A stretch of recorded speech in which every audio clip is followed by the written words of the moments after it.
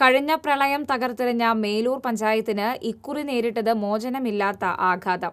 കാർഷിക വിളകൾ വെള്ളത്തിലാകുമ്പോൾ അതിന്റെ ദുരിതം അനുഭവിക്കുന്നത് നൂറ്റി അമ്പതോളം കർഷകരും. കപ്പയും വാഴയും ജാതിയുമെല്ലാം കാലവർഷത്തിന്റെ കുത്തൊഴുക്ക് കവർന്നെടുത്തു. കരിഞ്ഞുണങ്ങുന്ന തങ്ങളുടെ ഫലവൃഷാദികളെ നിസ്സഹായതോടെ നോക്കി നിൽക്കാനേ ഇവർക്കാകുന്നുള്ളൂ. ഇരുപത്തയ്യായിരം വാഴകളെ മലവെള്ളം ബാധിച്ചു. ഭൂരിഭാഗവും നേന്ത്രവാഴകൾ. അമ്പത് ഏക്കറോളം കപ്പ കൃഷി വെള്ളത്തിലായെന്നാണ് ഏകദേശ വിവരം. എണ്ണമറ്റ വിധം ജാതിമരങ്ങളും ഇനി നോക്കുകുത്തികൾ മാത്രം.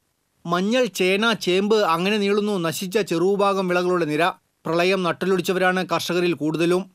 മേലൂരിൽ കൃഷി തകർന്നാൽ അതിന്റെ ആദ്യത്തെ ഇരയാകുന്നത് പെരിങ്ങാത്ര മോഹനനാണ്. ചാലിപ്പാടത്തെ രണ്ടര ഏക്കർ കപ്പ കൃഷി ഉപയോഗശൂന്യമായി. തൊട്ടടുത്ത രണ്ടു മാസം പ്രായമായ ആയിരത്തഞ്ഞൂറ് വാഴകളെയും മലവെള്ളം വെറുതെ വിട്ടില്ല. പൂലാനി കൊമ്പിച്ചാലിൽ വിളവെടുക്കാൻ ഒരു മാസം അവശേഷിക്കുന്ന നേന്ത്രവാഴത്തോട്ടവും കശക്കി എറിയപ്പെട്ടു. കരിങ്ങാമ്പള്ളി പാടശേഖരത്തിലെ മഞ്ഞൾ കൃഷിയും വെള്ളത്തിന്റെ കടന്നുകയറ്റത്തിൽ മഞ്ഞളിച്ചു നിൽക്കുന്നു. ഇത്തവണയും നഷ്ടം ലക്ഷങ്ങളുടെ. നഷ്ടം ഭീമമാണെങ്കിലും കൂടുതൽ കരുത്തോടെ കാർഷിക മേഖലയിൽ ഉറച്ചു നിൽക്കുമെന്ന് മോഹനേട്ടൻ പറയുന്നു.